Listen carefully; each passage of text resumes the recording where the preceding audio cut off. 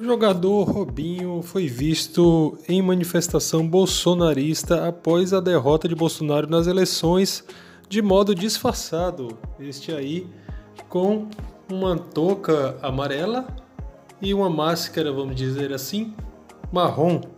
No blog da UOL, Casagrande, Walter Casagrande, afirma que quem contratar o condenado Robinho estará cometendo um equívoco hediondo e que ele se deparou com a notícia da matéria de que Robinho pretende voltar a jogar futebol aos 38 anos, que o jogador pode muito bem voltar com que idade quiser, mas se ele continuar solto será um desrespeito às mulheres e que ele deve pagar pelo que ele fez, ser condenado e pagar pelo que ele fez. Robinho foi condenado a nove anos de prisão pela corte italiana.